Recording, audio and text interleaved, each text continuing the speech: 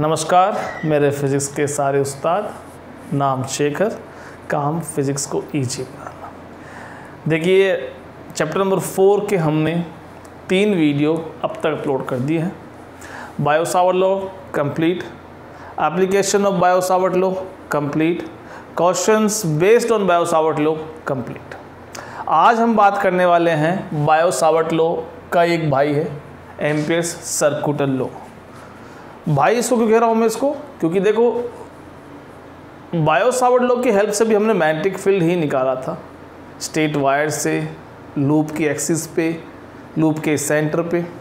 और अब Ampere's law का काम भी यही होता है। एम्पियर लॉ से भी हम मैग्नेटिक फ़ील्ड ही निकालते हैं। बस ये थोड़ा सा उससे अलग मेथड है। ठीक है? यहाँ भी वो चीज़ है। जो हमने यहाँ फ़र्स्ट चैप्टर में पढ़ी थी, याद कीजिए, फ़र्स्ट चैप्टर आपको ध्यान होगा तो वहाँ सबसे पहले हमने कुलाम्स स्लो पढ़ा था। कुलाम लो से हमने इलेक्ट्रिक फ़ील्ड निकाला था। इलेक्ट्रिक फ़ील्ड निकाला था नहीं फोर्स निकाला था। गुड फोर्स निकाला था। जो कुलाम लॉ से जो हमारा फॉर्मूला था, वो हमने ये डिराइव किया था। लेकिन आप मेरे ख्याल में भूल गए थे कि फोर्स अपॉन चार्ज यानी इसी फॉर्मूले को हमने यहाँ पुट किया था और फोर्स अपॉन चार्ज हमें क्या देता है? इलेक्ट्रिक फ़ील्ड देता है। यानी हम ये कह सकते हैं कि with help of Coulomb's law we calculate electric field ऐसा हमने किया था। फिर चैप्टर के एंड में आते आते हमने वहाँ एक थ्योरम पढ़ी थी एंड लो पढ़ा था। गॉस लो या गॉस थ्योरम गॉस लो या गॉस थ्योरम पढ़ा था। बेसिकली गॉस लो या गॉस थ्योरम किसके लिए थी? इलेक्ट्रिक फ्लक्स बताने के लिए थी। किसकी? एक क्लोज सरफेस के इलेक्ट्रिक फ्लक्स बताने के लिए थी। लेकिन हमने देखो गोस लो की तीन एप्लीकेशन पढ़ी थी इनफाइनाइट वायर के लिए प्लेन शीट के लिए और एक स्पेयर के लिए। ये तीन हमने एप्लीकेशन पढ़ी थी और उन तीन एप्लीकेशन में हम क्या कर रहे थे? हम उन तीनों चीज़ से आर डिस्टेंस पे। तीनों आपके चार्ज जो आ, क्या बोल सकते हैं उसको चार्ज कंडक्टर थे उनसे हमने क्या किया था? इलेक्ट्रिक फ़ील्ड निकाला था यूजिंग गॉस थ्योरम यानी गॉस थ्योरम बेसिकली किसके बारे में थी? क्लोज सरफेस से फ्लक्स निकालने की थी लेकिन हमने उसका यूज़ करके इलेक्ट्रिक फ़ील्ड निकाला। यानी गुलाम लो था ही अपने पास इलेक्ट्रिक फ़ील्ड निकालने के लिए। गुलाम्स लो तो हमारे पास था ही इलेक्ट्रिक फ़ील्ड निकालने के लिए। लेकिन वहाँ पे एक ऑल्टरनेट मेथड था, वो क्या था? Using Gauss theorem using Gauss theorem हम इलेक्ट्रिक फ़ील्ड भी निकाल रहे थे, यानी गुलाम से भी और गॉस से। दोनों लॉ से हम इलेक्ट्रिक फ़ील्ड निकाल रहे थे। उससे ही हम डायरेक्ट इस चैप्टर को रिलेट करते हैं। अब इस चैप्टर में क्या है? हमारे पास बायो सावट लो हमने पढ़ लिया है। With the help of the Biot Savart law हमने क्या पढ़ा था? हम मैग्नेटिक फ़ील्ड निकाल रहे थे। आज हम एम्पियर सर्कुलर लो पढ़ रहे हैं, वो वैसा ही है। जैसा बायोसावट लो को अगर मैं गुलाम लो से कंपेयर करूँ तो गॉस लो को मैं किससे कंपेयर करूँगा? एम्पियर सर्कुलर लो से। और अभी आप देखना, जैसे जैसे हम वीडियो में आगे बढ़ेंगे, आप ये देखोगे कि कैसे ये दोनों चीज़ें एक जैसी सी है। याद रखने की ज़रूरत ही नहीं है ज़्यादा। बस समझने की ही थोड़ी सी देर है। देखिए, कहता क्या है पहले हम देख लेते हैं। ये क्या कहता है कि अगर हम किसी करंट कैरिंग वायर चलो मैं गोस्ट लोगों पहले से इसको थोड़ा सा कनेक्ट कर देता हूँ, ताकि आपको समझने में ज़्यादा दिक्कत नहीं आए। देखिए, एक चार्ज मैंने लिया। क्योंकि इलेक्ट्रिक फ़ील्ड का सोर्स क्या होता है? एक चार्ज पार्टिकल होता है। अब हम चैप्टर पढ़ रहे हैं किसका? मैग्नेटिक फ़ील्ड का। मैग्नेटिक फ़ील्ड का सोर्स क्या होता है? एक करंट कैरिंग कंडक्टर होता कि नहीं होता? अब वहाँ पे देखो गोसलो हमने कैसे अप्लाई की थी? हमने इसके चारों तरफ़ एक गोशियन सरफेस ड्रॉ की। आपको देखो, आपने यहाँ भी एक गोश्चन सरफेस ड्रॉ की थी, एक इनफाइनाइट सीट याद कीजिए, एक सिलेंडर ड्रॉ किया था। डायग्राम से शायद हो सकता है कि आपको याद करने में दिक्कत ना आए। यहाँ भी हमने एक सिलेंडर ड्रॉ किया था, अगर आपको दिक्कत ना आए। और यहाँ पर हमने एक स्पेयर ड्रॉ किया था। ये तीनों के तीनों क्लोज सरफेस थी। ये क्लोज सरफेस का नाम था कुछ। याद कीजिए गौशियन सरफेस नाम था। क्या नाम था? गौशियन क्या नाम था? गोशियन सरफेस नाम था। क्या नाम था? गोशियन सरफेस नाम था, जो कि इमेजनरी थी। क्या थी वो? इमेजनरी सरफेस थी। एक्चुअल में वहाँ नहीं थी। हम अपनी प्रॉब्लम को सॉल्व करने के लिए अज्यूम कर रहे थे कि हम यहाँ पे ऐसी एक सरफेस लेके आ रहे थे। ठीक है? वो गोस लो में। तो यहाँ पे ये गोशियन सरफेस आप अपने हिसाब से ड्रॉ कर रहे थे, अगर आपको ध्यान हो तो। तो गॉसियन सरफेस सरफेस के पास क्या होता है? सरफेस के पास एरिया होता है। सरफेस के पास क्या होता है? एरिया होता है। अब देखो, याद कीजिए, गॉस थ्योरम बेसिकली क्या थी? ये आपका गॉस थ्योरम का फॉर्मूला था। Phi is equal to q upon epsilon naught था नहीं था? फाइव का फॉर्मूला क्या था? फाइव बेसिकली अगर अपन ये फॉर्मूला आपको याद होगा phi is equal to E A cos theta लेकिन मैं इस गॉसियन सरफेस मान लो ये स्पेरिकल गॉसियन सरफेस है, इसका स्मॉल एरिया डी ए ले लिया।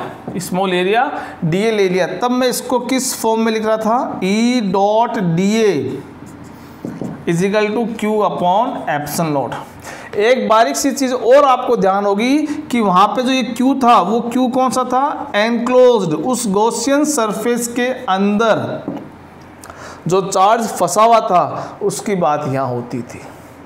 अब देखिए कितना इजी हो गया है। पहले दिन से कह रहा हूँ फिजिक्स बहुत इजी है, थोड़ा सा बस। दिमाग की नसों में खून थोड़ा सा तेज़ दौड़ाना पड़ता है, तब उसको पढ़ते हैं। देखिए, अब ये जो है ये ही मैं यहाँ लेके आ रहा हूँ। यहाँ क्या क्या है? यहाँ इलेक्ट्रिक फ़ील्ड का सोर्स कौन होता है? चार्ज पार्टिकल इलेक्ट्रिक फ़ील्ड का सोर्स कौन होता है? चार्ज पार्टिकल मैग्नेटिक फ़ील्ड का सोर्स कौन होता है? करंट होती है। मैग्नेटिक फ़ील्ड का सोर्स कौन होता है? करंट होती है। तो यहाँ चार्ज आया, यहाँ करंट आई। चार्ज अगर एनक्लोज है तो ये भी देख के देख के कहेगा कि मेरी करंट भी कौन सी होनी चाहिए? एनक्लोज होनी चाहिए। क्या होनी चाहिए? एनक्लोज होनी चाहिए। क्या है? और डिटेल पढ़ेंगे? अभी देखिए। अब गोशियन सरफेस की बात करता हूँ। गॉसियन सरफेस जो है, वो आपने यहाँ पे कंसिडर की थी। सिलेंड्रिकल स्पेरिकल क्यूबोइड, क्यूब, जो भी, जैसा आपको लगे कि इस पर्टिकुलर प्रॉब्लम में हमें लिए ये सूटेबल क्वेश्चन सरफेस होगी, वो आपने ली, आपकी प्रॉब्लम सॉल्व हो गई। यहाँ हम क्या कर रहे हैं? यहाँ हम सरफेस नहीं ले रहे हैं, यहाँ हम एक लूप ले रहे हैं। क्या ले रहे हैं? लूप लूप क्या होता है? ये और देखना। लूप क्या होता है? ये टू डायमेंशनल बॉडी होती है, जैसे एक सर्कल ले लो, एक स्क्वायर ले लो, एक रेक्टेंगुलर ले लो. These are the two dimensional bodies इनको लूप बोलते हैं. ये तो हो गए सिमेट्रिकल लूप बोलो या रेगुलर लूप बोल. अगर मैं कुछ ऐसे भी ड्रॉ करूँ, जहाँ से ये स्टार्ट हुआ, वहाँ वापस आए, ख़त्म होता है तो ये भी लूप है. इसको भी लूप ही कंसिडर करते हैं. यानी जहाँ से आपका स्टार्ट हो रहा है लूप वहीं अगर वो घूम के वहीं ख़त्म होता है तो उसको हम लूप ही कंसिडर करेंगे. यहाँ हम लूप लेंगे। अब ये भी इमेजनरी था गोशन सरफेस तो लूप भी आपका इमेजनरी सरफेस था। और इस सरफेस के आगे उस साइंटिस्ट का नाम लगा, उसका नाम था गोस तो गोशन सरफेस बन गई। और यहाँ इस लूप के आगे इसके साइंटिस्ट का नाम लगेगा। इसको नाम बोलते हैं एम्पियर्स लूप क्या बोलते हैं? एम्पियर्स लूप तो अब इस एम्पियर्स लूप में ये भी ले सकता हूँ मैं। ये भी ले सकता हूँ। तो अब जैसे मैंने इस चार्ज को एनक्लोज किया किसके अंदर? गोशिन सरफेस को। वैसे ही मैं इसका इसका सॉरी ये रहा, ये करंट मैग्नेटिक फ़ील्ड का कौन सोर्स है? करंट सोर्स है। इसको मैं एनक्लोज करूँगा। किसमें एनक्लोज करूँगा? एम्पेयर्स लूप में, जैसे चार्ज को गोसियन सरफेस में, इसके सोर्स को इलेक्ट्रिक फ़ील्ड के सोर्स को आपने गोसियन सरफेस में एनक्लोज किया। वैसे ही मैं मैग्नेटिक फ़ील्ड के सोर्स करंट को किसमें एनक्लोज करूँगा? लूप में। मैंने एक लूप ले लिया। अभी मैंने लूप कैसा लिया? एक सर्कुलर लिया। कोई सा भी लूप आप ले सकते हैं। सब में से आंसर आएगा। लेकिन एक चीज़ सिंप्लिसिटी जिस लूप से आपकी प्रॉब्लम जितनी क्विकली सॉल्व होगी, हमें वो लूप को पहले खोजना है। वो हम पढ़ेंगे, वो बात की बातें हैं, वो देखते हैं। तो आपने ये लूप ले लिया एक तरह से। और इस लूप को, जैसे अब इस गॉसियन सरफेस को आप लेते हो तो इस सरफेस को एरिया वेक्टर है। एरिया वेक्टर है तो इसकी डायरेक्शन हुआ करती थी तो आप कुछ एक डायरेक्शन कंसिडर करते थे। तो वैसे मैं इस लूप की भी डायरेक्शन ले सकता हूँ। तो मान लो मैंने इस लूप की डायरेक्शन ये ले ली। ये लूप इस तरह से है। ये लूप इस तरह से है। ऐसे ऐसे है क्लॉक एंटी क्लॉकवाइज मैंने ये लूप ले लिया। तो अब ये क्या कह रहा है? अब देखो, अब ये क्या कह रहा है कि यहाँ पे देखो इलेक्ट्रिक फ़ील्ड है। अब देखो मैं यहाँ आपका पूरा एम्पियर्स ले देता हूँ। इलेक्ट्रिक फ़ील्ड है। अब हमारा काम क्या है? मैग्नेटिक फ़ील्ड निकालना। डॉट की जगह डॉट आ गया। वहाँ एरिया था कि गौशियन सरफेस थी, सरफेस के पास एरिया था तो आपने एरिया एलिमेंट लिया। यहाँ क्या है? लूप है। लूप क्या है? टू डायमेंशन है। इसके पास क्या होती है? लेंथ होती है। तो यहाँ आप लेंथ की फॉर्म में एलिमेंट लेंगे। और लेंथ की फॉर्म एलिमेंट क्या ले लिया स्मॉल। अगर ये टोटल लेंथ एल है इस लूप की तो इसकी स्मॉल लेंथ क्या होगी? डी एल तो यहाँ एरिया यहाँ लेंथ अब ये डी एल तो क्या हुआ? इस पूरे लेंथ का एक स्मॉल पार्ट है। जैसे ये वाला डी एल ले लिया मैंने। इस पूरे लूप का स्मॉल पार्ट डी है। ऐसे बहुत सारे डी है। उन सबको जोड़ूँगा, तब जाके मुझे पूरा का पूरा मैग्नेटिक फ़ील्ड मिलेगा। तो अब क्या करूँगा मैं? इंटीग्रेशन लाइन इंटीगल यानी पूरा लाइन इंटीगल यानी पूरे लूप को हमें काउंट करके चलना है। तो line integral B dot d L is equal to अभी एक चीज़ रह गई है। यहाँ देखो चार्ज एनक्लोज था, यहाँ आई एनक्लोज आ गया। यहाँ देखिए एप्सन लोड ये किसका कांस्टेंट था? इलेक्ट्रिक फ़ील्ड के केस में कांस्टेंट था।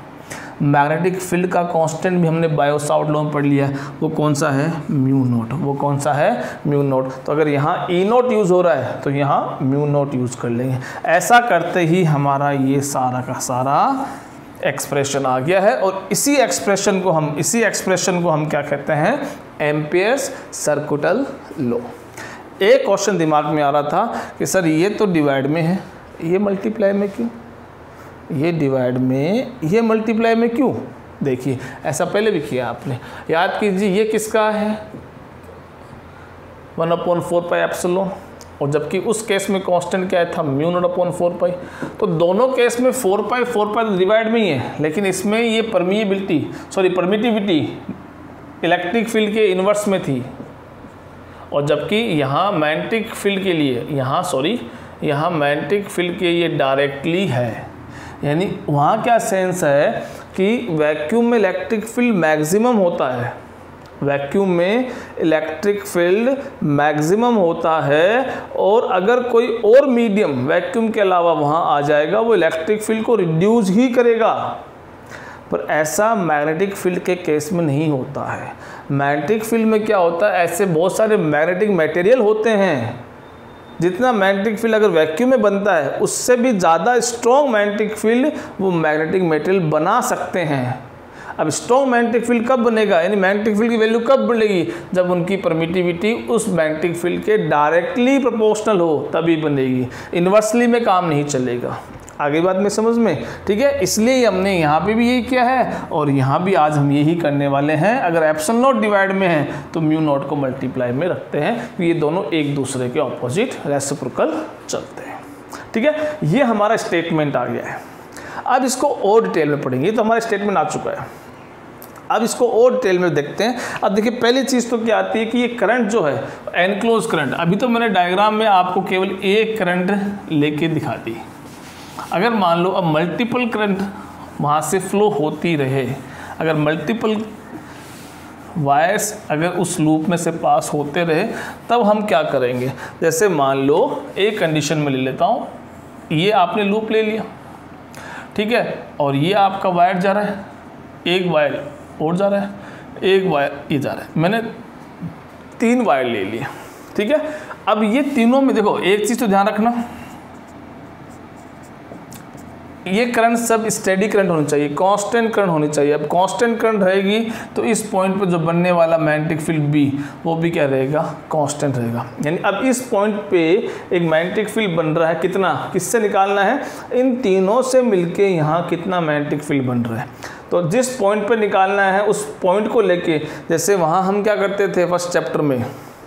गौशन सरफेस को हम वैसे ही ड्रॉ करते थे। अगर आप जाके पीछे वाला फ़र्स्ट चैप्टर का वीडियो देखोगे कि गोशन सरफेस भी हम वैसे ही ड्रॉ करते थे कि वो पॉइंट जहाँ हम इलेक्ट्रिक फ़ील्ड निकालना चाहते हैं, वो पॉइंट उस सरफेस के ऊपर ही होना चाहिए। वैसे जिस पॉइंट पे यहाँ मैग्नेटिक फ़ील्ड निकाल रहे हैं तो हम जो लूप सेलेक्ट कर रहे हैं, वो हम जो लूप सेलेक्ट कर रहे हैं, वो लूप के ऊपर ही वो पॉइंट होना चाहिए। तो ये लूप मैंने मान लो सेलेक्ट कर दिया है, ये बी पॉइंट है जहाँ मैग्नेटिक फ़ील्ड निकालना है। ये लूप इमेजनरी है तो ये एम्पेस लूप हो गया। ठीक है? और इसको मैंने इस डायरेक्शन ले लिया नहीं सॉरी ये एंटी क्लॉकवाइज डायरेक्शन में मैंने इसको ले लिया। आगे बात समझ में? अब यहाँ आप देख रहे हो कि दो करंट तो एक ही डायरेक्शन जा रही है, लेकिन एक करंट ऑपोजिट डायरेक्शन तो क्या ये करंट्स का जो नेचर है, हम सेम कंसिडर करेंगे? तो यहाँ हम क्या करने वाले हैं? हम यहाँ साइन कन्वेंशन अप्लाई करेंगे। देखो, कैसे करूँगा? अब इस पॉइंट बी का जो मैग्नेटिक फ़ील्ड निकालना है एम्पेस लॉ से तो मैं एम्पेस लॉ लिखूँगा म्यू नोट अब यहाँ आई एनक्लोज आती है। तो कितनी करंट है यहाँ पे? एक करंट है आई वन एक करंट है आई टू और एक करंट आई थ्री ये तीनों करंट तो है, लेकिन तीनों अगर एक ही डायरेक्शन में होती तो मैं तीनों को पॉजिटिव पुट करता। लेकिन देखो, एक, दो एक डायरेक्शन में और एक ऑपोजिट डायरेक्शन में। तो अब मुझे एक डायरेक्शन पॉजिटिव सेलेक्ट करनी पड़ेगी, एक डायरेक्शन मुझे नेगेटिव सेलेक्ट करनी पड़ेगी। कौन सी पॉजिटिव लूँगा? तो इसका भी एक साइन कन्वेंशन है। आपका लूप आपने कैसे लिया? ऐसे लिया है। तो आप अपने लूप पे क्या करो? अपनी फिंगर्स रखो। और फिर अपने थम को देखो। आपके फिंगर्स के अकॉर्डिंग अपने लूप को घुमा रहे हो, तब थम आपका कहाँ जा रहा है? इस डायरेक्शन में। अब इस डायरेक्शन में जो जो करंट है, उसको आपको पॉजिटिव लेना है और उसके अपोजिट जो करंट है, उसको आपको नेगेटिव लेना है। तो आपकी कौन कौन सी है? ये डायरेक्शन यानी आई टू आपका पॉजिटिव आई वन आपका पॉजिटिव लेकिन आई थ्री उसके अपोजिट है, ये नेगेटिव तो हम इस एक्सप्रेशन को ऐसे लिख सकते हैं कि हमारे पास तीन करंट है, तीन की डायरेक्शन ऐसे। आगे बात समझ में? ये हम ऐसा यहाँ पे कर सकते हैं। ठीक है? इससे ये इजी रहेगा। अब देखिए, एक चीज़ और समझिए। अगर मान लीजिए, मैं कहता हूँ कि ये एक लूप और लिया, जिसमें से दो वायर जा रहे हैं, ऐसे।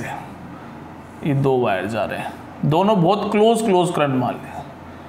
दोनों वायर में सेम करंट फ्लो हो रही है और दोनों बहुत क्लोज है। बहुत क्लोज का मीनिंग क्या है कि ये जो डिस्टेंस है, ये डिस्टेंस दोनों को आर डिस्टेंस ये मान लेते हैं, उन दोनों में ज़्यादा डिफरेंस दी है, ठीक है?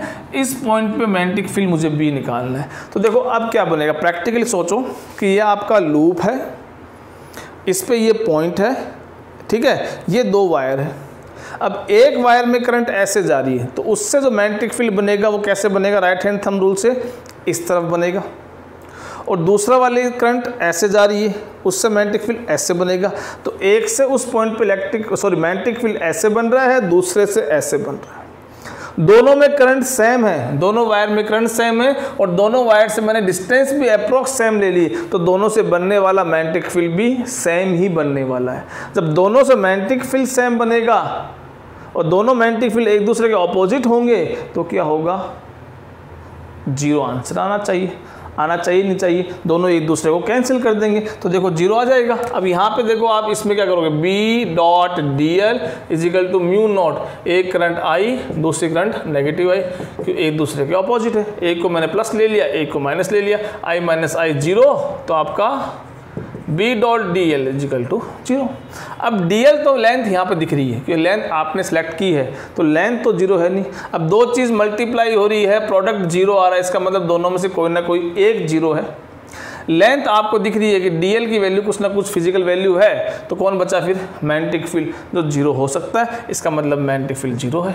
तो ये चीज़ हमने प्रैक्टिकली देख ली कि एक मैंटिक फ़ील्ड इधर बनाएगा, एक मैग्नेटिक फ़ील्ड इधर बनाएगा। और यही हमने इस बायो सॉरी एम्पेस लॉ से भी देख ली कि ये भी ज़ीरो ही आंसर दे रहा है।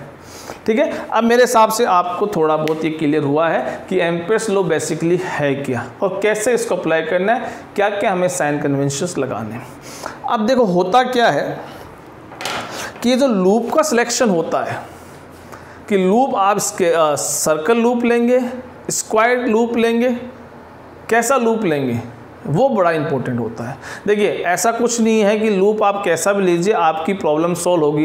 यानी एम्पेस लो आप किसी भी कंडीशन में अप्लाई कर सकते हैं। लेकिन हम ये सर्च आउट करते हैं कि कौन से लूप का सिलेक्शन हम किस पर्टिकुलर सिचुएशन पे करें ताकि हमारी प्रॉब्लम सिंप्लीफाई हो जाए और बहुत कम स्टेप्स में हमारा आंसर आ जाए। देखो, मैं थोड़ा कॉम्प्लेक्स आपको एग्जांपल देता हूँ और फिर उसको हमने कैसे सिंप्लीफाई किया है हमारे एम्पेयर्स लूप के सिलेक्शन से, उससे आपको क्लियर हो जाता है। ठीक है? जैसे मैं स्टेट वायर का एग्ज़ाम्पल लेके ही आपको बता देता हूँ ताकि अब और आपकी थिंकिंग क्लियर हो जाए एम्पेयर्स लूप को लेके। देखिए अभी। यही वायर वाला एग्ज़ाम्पल लेंगे। आइए बोर्ड पे आइए फटाफट। देखिए ये रहा।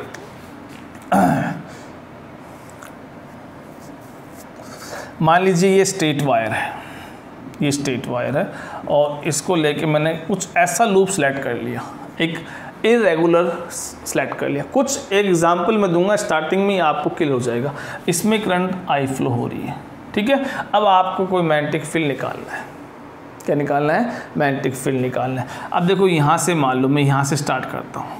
अब यहाँ से आप डिस्टेंस देखोगे तो कुछ डिस्टेंस आएगी यहाँ पे। ये यह आर डिस्टेंस पे कोई पॉइंट है। ये वाला पॉइंट आर वन डिस्टेंस पे। ये वाला पॉइंट मान लो आर टू डिस्टेंस पे। ये वाला आर थ्री डिस्टेंस पे। ऐसे बहुत सारे डिस्टेंस अलग अलग डिस्टेंस आएगी। क्योंकि ये सिमिलर एक सिमेट्रिकल शेप तो है नहीं। तो अलग अलग पॉइंट इसके अलग अलग डिस्टेंस पे वायर से। फिर देखो, अगर मैं यहाँ डी का सिलेक्शन करूँ ये डी ले लिया मैंने, ये डी ले लिया मैंने। अब देखो, यहाँ पे जो मैग्नेटिक फ़ील्ड देखो, अब मैग्नेटिक फ़ील्ड देखो कैसा बनता है। टेंथ चैप्टर से आप पढ़ते आ रहे हैं सॉरी टेंथ क्लास से आप पढ़ते आ रहे हैं कि स्टेट वायर में अगर आप करंट फ्लो करते हो तो उसके चारों तरफ़ मैग्नेटिक फ़ील्ड बनते हैं। वो मैग्नेटिक फ़ील्ड कैसे होते हैं? कॉन्सेंट्रिक होते हैं। कैसे होते हैं? कॉन्सेंट्रिक होते हैं। और उनका सेंटर कौन होता है? वो वायर होता है। होता का नहीं होता है। होता है, ठीक है? तो अब ये कॉन्सेंट्रिक सर्कल्स है। तो इसका मतलब यहाँ भी एक इसका मैग्नेटिक फ़ील्ड बना होगा। इसके चारों तरफ़ ऐसे कोई ना कोई एक मैग्नेटिक फ़ील्ड लेट मैं ऐसे ड्रॉ कर देता हूँ। ये कोई ना कोई मैग्नेटिक फ़ील्ड बना होगा और वो एक लूप में होता है, एक शेप में होता है, एक सर्कल होता है। अब देखिए, यहाँ का जो मैग्नेटिक फ़ील्ड है, चलो इसका मैग्नेटिक फ़ील्ड ये बन गया।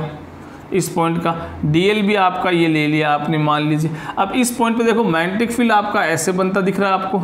ये इसका टेंजेंशियल है, लेकिन इसका आपका डीएल है, वो डीएल आपका ये रहा। तो यहाँ एंगल कुछ थीटा बन रहा है। ऐसे मैं एक केस ये ले लेता हूँ। अब देखो, यहाँ पे आप देखोगे यहाँ ले लीजिए, ये पॉइंट ले लीजिए। अब आपका डीएल तो आपका ये रहा, और मैग्नेटिक फ़ील्ड आपका ये रहा तो यहाँ कुछ थीटा बन रहा है। ऐसे ये आपका मैग्नेटिक फ़ील्ड तो ये रहा, और आपका डीएल ये रहा लूप का, ये डी ऐसे बन रहा है। तो देखो, आप अलग अलग जगह पे देखो अलग अलग एंगल आ रहे हैं। आ रहे कि नहीं आ रहे? यानी अगर मुझे इसका मैग्नेटिक फ़ील्ड निकालना हो तो B dot mu naught I ये करूँगा। आई में मुझे कोई दिक्कत नहीं है। म्यू नॉट में मुझे कोई दिक्कत नहीं है, लेकिन बी डॉट डी एल को अगर मैं डॉट रहूँगा तो क्या आएगा? कॉस थीटा आएगा। Is equal to mu naught I अब इस डी एल के लिए मैंने पुट किया। इस डी एल के लिए मैं कॉस थीटा पुट करूँगा, इस डी एल के लिए कॉस थीटा पुट करूँगा। अगर मान लो कॉस थीटा ज़ीरो है थर्टी है फोर्टी फाइव है, जिनकी वैल्यूज़ आपको याद रहती है जनरली जो आप टेंथ क्लास से पढ़ते हैं तब तो कोई दिक्कत नहीं है। तब तो आपका लूप से कोई दिक्कत नहीं है आपका प्रॉब्लम सॉल्व हो जाएगी। लेकिन हम क्या कोशिश करते हैं कि हम इस कोस थीटा को कैसे न कैसे सिंपल्स की फॉर्म में रखें। सिंपल फॉर्म मतलब या तो ये थीटा हमारा ज़ीरो रहना चाहिए थीटा क्या होना चाहिए, ज़ीरो होना चाहिए। ये कब पॉसिबल है? जब आपका मैग्नेटिक फ़ील्ड आपका पहली कंडीशन जब आपका मैग्नेटिक फ़ील्ड आपके लूप के साथ लूप यानी डीएल एलिमेंट के साथ टेंजेंशियल हो। कैसा हो? टेंजेंशियल हो। अब एग्जांपल दूँगा मैं आपको। टेंजेंशियल होना चाहिए। या फिर क्या कर दें इसको थीटा को 90 कर दो। सारा जोड़ी खत्म कर दो। थीटा को 90 कर दो। कॉस 90 कितना होता है? ज़ीरो होता है। कॉस 90 ज़ीरो तो ये पूरा ज़ीरो हो जाएगा। बात ही खत्म हो जाएगी। ठीक है? यानी और सिंप्लीफाई करने के लिए आपका जो मैंटिक बी है, वो डीएल लूप जो है, यानी जो आपका एम्पेयर्स लूप है, जो आपका एम्पेयर्स लूप है, उस लूप के परपेंडिकुलर होना चाहिए। तीसरा, ऐसी कंडीशन बन जाए, अभी वाली कंडीशन कि आपका मैग्नेटिक फ़ील्ड पूरा ही वैनिश हो जाए ज़ीरो हो जाए, वहाँ से ख़त्म ही हो जाए। मैग्नेटिक फ़ील्ड क्या हो बी पूरा का पूरा ख़त्म ही हो जाए। इस तरह से आप लूप ले लो वैनिस हो जाए। तो इन तीन कंडीशंस को हम लाने की कोशिश करते हैं। आगे जो हमारे एप्लीकेशन हम पढ़ने वाले हैं, उसमें हम यही कोशिश करेंगे, कैसे हम उसको टेंजेंशियल बनाएँ कैसे हम उसे परपेंडिकुलर बनाएँ और कैसे हम किसी एक सेगमेंट का मैग्नेटिक फ़ील्ड ही ज़ीरो कर दें, ताकि बाकी सेगमेंट से हम इजीली कैलकुलेशन कर सकें, ठीक है? तो अब ये लूप मैंने यहाँ नहीं लिया। इस लूप में प्रॉब्लम क्या रही थी कि कहीं डीएल के साथ थीटा मान लो 45 डिग्री नहीं है 46 बन गया। अब 46 बन गया तो फिर उसके लिए आपको फोर्टी सिक्स कोस फोर्टी की वैल्यू पता करनी पड़ेगी। कोस मान लो 23 बन गया। कॉस सिक्सटीन बन गया वन सिक्स कॉस मान लो फोर्टी टू बन गया तो इन सब की वैल्यू हमें याद रहने वाली है नहीं। और इतना टाइम हमें मिलने वाला नहीं एग्ज़ाम में उनकी वैल्यू याद रख के जाए। हमें जो वैल्यू याद है, हम उसी की फॉर्म में लाने की कोशिश करते हैं, ठीक है? तो अगर मैं देखो, इस लूप को, इसमें प्रॉब्लम आ रही, इसका सोल्यूशन क्या किया, कि मेरा लूप का सिलेक्शन क्या रहा, कि मैंने वो लूप टेंजेंशियल लिया किसके? मैग्नेटिक फ़ील्ड के। कैसे? अब इसी को देखो, मैं कैसे चेंज कर देता हूँ, और आपकी समस्या का समाधान कर देता हूँ। अब मैंने ये लूप ले लिया। अब आपको पता है कि इसके चारों तरफ़ जो मैग्नेटिक फ़ील्ड बनेगा, वो भी सर्कुलर बनेगा और लूप भी मैंने सर्कुलर ले लिया, यानी इसके चारों तरफ़ जो मैग्नेटिक फ़ील्ड बनेगा, वो इस लूप के अलोंग ही बनेगा। ये देखो, बना कि नहीं बना? ये डॉटेड पार्ट क्या मान लो आप? मैंटिक फ़ील्ड मान लो मैंटिक फ़ील्ड लाइन मान लो, और ये आपका जो सोलिड लाइन है, वो क्या हो गया? आपका सर्कुलर लूप हो गया। ठीक है? तो अब देखो, आपका डीएल अगर मैं लूँ तो ये डीएल ये रहा और इस पॉइंट का मैंटिक फ़ील्ड भी आपका ऐसा आ गया। तो यहाँ थीटा कितना बन गया? ज़ीरो बन गया। किसी भी पॉइंट पे आप निकालो, किसी भी पॉइंट पे आप निकालोगे, हर एक पॉइंट पे आपको थीटा ज़ीरो ही बनने वाला है, यानी ये यहाँ से हट जाएगा। और दूसरी बात साथ साथ में क्या होगा? क्योंकि इस, ये पूरा सर्कल जो है, ये सर्कल जो पूरा है, वो सर्कल पूरा क्या होना चाहिए? सेम डिस्टेंस पे है। आर रेडियस सब केस में हर एक हर एक सिचुएशन में ये बराबर, हर एक पॉइंट इस वायर से सेम डिस्टेंस पे, यानी इन सबसे बनने वाला मैग्नेटिक फ़ील्ड कांस्टेंट टर्म है। कांस्टेंट टर्म होने से इसको हम बाहर ला सकते हैं। अंदर डीएल बच जाएगा म्यू नॉट बच जाएगा आई बच जाएगा। अब इस डीएल को सबको मैं ऐड करूँगा। डीएल को मैं सबको ऐड करूँगा तो मुझे क्या मिलेगा? एक सर्कल का सरकमफ्रेंस सारे डीएल ऐड करूँगा तो मुझे एल मिलेगा इंटीग्रेशन ऑफ़ डीएल मुझे एल मिला और एल क्या है? इस सर्कल का सरकमफ्रेंस है और वो कितना होता है? टू पाई आर तो ये मैंने टू पाई आर ले लिया. Is equal to mu naught I क्या निकालना है? इस वायर से आर डिस्टेंस पे कितना मैग्नेटिक फ़ील्ड बनेगा? ये आपकी प्रॉब्लम सॉल्व होगी. बी को रखो यहाँ पे. और बाकी म्यू नॉट आई तो आपका था ही. नीचे टू पाई आर चला गया. अब देखो इनफाइनाइट वायर के लिए इनफाइनाइट वायर से कितना मैग्नेटिक फ़ील्ड बनता आर पे बायो सावर्ट लॉ की एप्लीकेशन चले जाओ। जो मैंने आपको फाइनाइट वायर से कितना मैग्नेटिक फ़ील्ड बनता, वो निकालने के बाद में स्पेशल केस बताया था कि अगर वायर इनफाइनाइटली लॉन्ग हो तो कितना मैग्नेटिक फ़ील्ड बनता है। यही आपका आंसर आ रहा है। ठीक है? तो ऐसे हम एमपीएस लॉ से भी इसकी वैल्यू निकाल सकते हैं। सीबीएसई में सीबीएसई में एम्पेस लॉ से इनफाइनाइट वायर का मैग्नेटिक फ़ील्ड निकालना सिलेबस में है। ठीक है? जबकि मैंने बायोसावर्ट लॉ से भी आपको बताया तो आप, आपको समझ में आ गए मेरे ख्याल में कि बेसिकली एम्पेस लॉ क्या है और कैसे हम इसका यूज़ करते हैं। ठीक है? अब एक एग्ज़ाम्पल देख लेते हैं लास्ट अपना। ठीक है? उसके साथ ही आपको चीज़ें क्लियर हो जाएगी। ये एग्ज़ाम्पल एन एक्सरसाइज में भी है। सॉरी एन एग्ज़ाम्पल में भी है। उसके अलावा C B S E two thousand ten में आया हुआ है और C B S E two thousand sixteen में भी आया हुआ है। इस एग्ज़ाम्पल से आपको एम पी एस लूप की पूरी कहानी, पूरा लेखा जोखा समझ में आ जाएगा और फिर अपन अगले वीडियो में मिलेंगे इसकी एप्लीकेशंस के साथ में सोलोनॉइड और टोरॉइड ठीक है? इनफाइनाइट वायर वाली एप्लीकेशन भी है, लेकिन मैंने यहाँ बता दिया आपको। अब सोलोनॉइड और टोरेड दो बचे हैं वो अपन अगले वीडियो में डिस्कस करेंगे। ठीक है? जो एन e में है एन एग्ज़ाम्पल e है ये। साथ में 2010 और 16 सीबीएसई e में आया हुआ है। क्वेश्चन क्या है वो? कि एक आपका करंट कैरिंग कंडक्टर है। एक सिलेंड्रिकल करंट कैरिंग कंडक्टर है, ठीक है? इसमें पूरे में पूरे में करंट आई फ्लो हो रही है। इसके आउटसाइड एक पॉइंट है और एक इनसाइड एक पॉइंट है। इसकी खुद की रेडियस, इस करंट कैरिंग कंडक्टर खुद की रेडियस ए है। आपसे पूछ रहा है कि आउटसाइड द कंडक्टर और इनसाइड द कंडक्टर हमें मैग्नेटिक फ़ील्ड बना के बताओ। कितना मैग्नेटिक फ़ील्ड बनेगा वो निकाल के दिखाओ। तो देखो हम कैसे करेंगे? हम एम्पियर्स लूप का यूज़ करेंगे। क्या करूँगा? देखो, ये मैंने ले लिया। क्योंकि देखो, अब डिस्टेंस हमेशा सेंटर से काउंट करते हैं। तो मैंने ये डिस्टेंस पहले आउटसाइड निकाली। तो मैंने ये डिस्टेंस मान लो आर है। आउटसाइड एक पॉइंट आर डिस्टेंस पे है। यानी ये आर क्या है एक्चुअल में? इसकी रेडियस से ज़्यादा हो गया। इसमें तो कोई दो राय नहीं है आपकी। ठीक है, ये पॉइंट हमने ले लिया। अब मुझे क्या करना है, क्योंकि अभी आपने देखा है, हमें एम पी एस लूप बनाना है। तो पहले मैं एक एम पी एस लूप बनाऊँगा और मैं उसकी सिमेट्रिक अकॉर्डिंग एक circular M P S loop बनाऊँगा, क्योंकि इस वायर में जब करंट फ्लो ऐसे हो रही है तो इसका लूप से जो मैंटिक फ़ील्ड बनेगा, वो मैंटिक फ़ील्ड कॉन्सेंट्रिक सर्कल्स बनेंगे। तो सर्कल के ही टेंजेंशियल रहने वाले हैं। ये सर्कल के ही टेंजेंशियल रहने वाले हैं। इससे मुझे बड़ी दिक्कत नहीं आने वाली। ठीक है? ये टेंजेंसी ले लिया। एम्पेस लूप अप्लाई कर दो B dot D L is equal to mu naught I आगे समझ में? ठीक है बी कांस्टेंट रहेगा, क्योंकि हर एक पॉइंट इसका आर डिस्टेंस पे। इस वायर वायर के चारों जो लूप घूम रहा है, उससे हर एक पॉइंट क्या है आर डिस्टेंस पे। और सबके लिए करंट कितने एनक्लोज है? करंट आई एनक्लोज है। तो सबके लिए क्या हो जाएगा? बी डॉट कांस्टेंट है तो बी बाहर आ गया। D L mu naught I I enclose current है।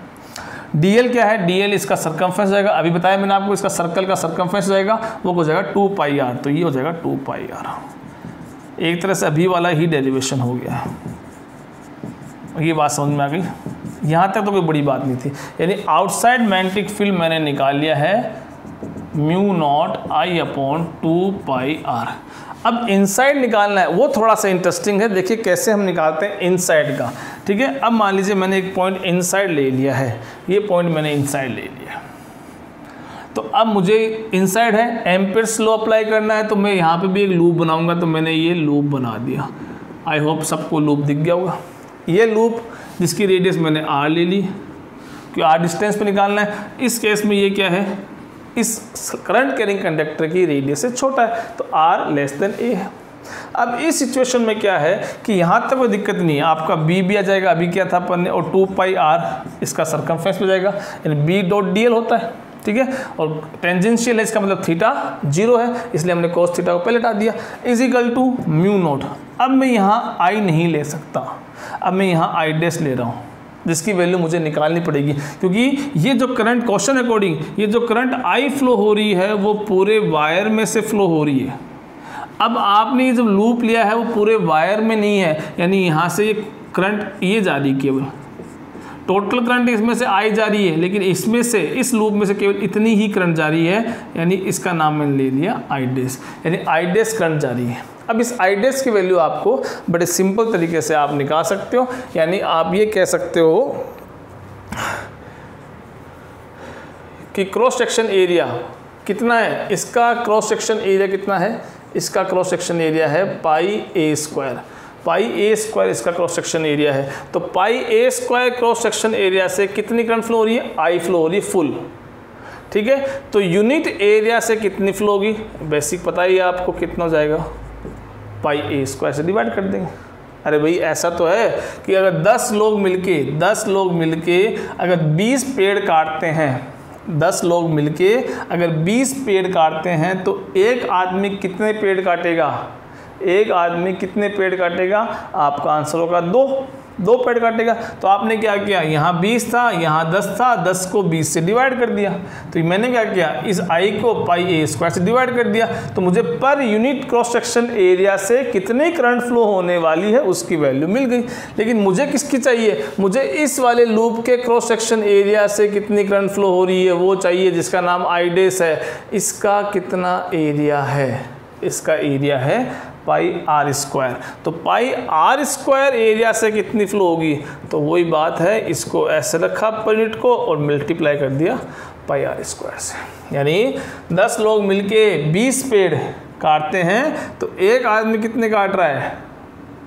20 बट्टे दस ट्वेंटी डिवाइड बाई टेन, और मैं कह रहा हूँ पाँच कितने काटेंगे? तो पाँच जब मैंने पूछा, पाँच कितने काटेंगे? तो टेन ट्वेंटी अपॉन टेन को आपने फाइव से डिवाइड कर दिया तो किस क्या आंसर आ गया आपका टेन? ये आना चाहिए, सोच लीजिए आप। तो ये हमारा, यानी पाई आर स्क्वायर से कितनी करंट फ्लो होगी? और वो करंट का नाम क्या है? हमने क्या दिया आई डेस नाम दिया। यानी मुझे एनक्लोज करंट आई डेस का वैल्यू मिल गई है, पाई से पाई कैंसिल हो गया। यानी B into two pi R is equal to mu naught और एनक्लोज कर आई डेस की वैल्यू कितनी है? आई देखो R square divide by A square ठीक है? अब आपका बी का आंसर आ गया. B is equal to mu naught ठीक है? I R square divide by two pi R A square R से आर कैंसिल हो गया। यहाँ आप देखो आउटसाइड की जब बात कर रहा हूँ तो ये आर के साथ में इन्वर्सली प्रोपोर्शनल है। और अब आप देखो, ये बी मैंटिक फ़ील्ड आर के साथ क्या है? डायरेक्टली प्रोपोर्शनल है। इसका मतलब अगर आर आपकी ज़ीरो है तो आप इसके एक्सिस पे है। और फिर जैसे जैसे आर की वैल्यू आप इंक्रीज करोगे, जब आप इनसाइड हैं आर की वैल्यू आप इंक्रीज करोगे, आप इनसाइड हैं तो आर के साथ साथ आपका मैंटिक फ़ील्ड बढ़ेगा। कब तक? जब तक आप बाहर नहीं आ जाते। और जैसे ही आप बाहर आओगे तो अब आपका मैंटिक फ़ील्ड आर के साथ इन्वर्सली प्रोपोर्शनल है। यानी मैंटिक फ़ील्ड के साथ साथ आपकी करंट की वैल्यू सॉरी मैंटिक डिस्टेंस के साथ साथ आपकी मैंटिक फ़ील्ड की वैल्यू डिक्रीज होना शुरू हो जाएगी। और ये ग्राफ बनाता हूँ। ग्राफ बनाते सारी चीज़ें। क्लियर हो जाएगी। ये मैंने ग्राफ ले लिया, ये मैग्नेटिक फ़ील्ड है। आर की वैल्यू है, ये आर है। आर जब ज़ीरो है तो आर ज़ीरो कहाँ होगा? इस एक्सिस पे। यहाँ पे आर जब ज़ीरो है इनसाइड आर ज़ीरो तो मैग्नेटिक फ़ील्ड ज़ीरो ठीक है? फिर आर की वैल्यू बढ़ाओ। आर की वैल्यू बढ़ेगी तो इनसाइड द कंडक्टर आर के साथ साथ बी क्या है? डायरेक्टली है तो आर बढ़ेगा तो बी बढ़ेगा। आर बढ़ेगा तो बी कब तक? जब तक आर उसकी रेडियस के बराबर ना हो जाए कंडक्टर की रेडियस जो कि ए है। और अब आप ए से और बाहर जाओगे तो आप आउटसाइड द कंडक्टर आ गए। और आउटसाइड द कंडक्टर आप आर के साथ अब बी डिक्रीज होना शुरू हो जाएगा। यानी अब आप आगे बढ़ोगे तो आप ये इन्वर्सली प्रोपोर्शनल आपका ग्राफ इस तरह से बनेगा। डिक्रीज होना शुरू हो जाएगा। तो ये सारा कुछ अपने एम्पेस लो के बारे में आज पढ़ा था और आपको बहुत सारी बातें एम पी के लिए बता दी है। अगर कोई डाउट हो तो आप कमेंट बॉक्स में डाउट पूछ सकते हैं, कोई दिक्कत है पूछ सकते हैं, ठीक है? आज हम इतना ही पढ़ेंगे, अगले वीडियो में हम मिलेंगे, अब हम वहाँ का पढ़ेंगे। एम्पेयर्स लो की एप्लीकेशंस पढ़ेंगे। एक सोलोनोइड होगा, उसके अंदर मैंटिक फ़ील्ड कितना बनेगा, एक टोरॉइड होगा, उसके अंदर कितना मैंटिक फ़ील्ड बढ़ेगा वो हम आप अगले वीडियो में पढ़ेंगे। Till then bye thank you so much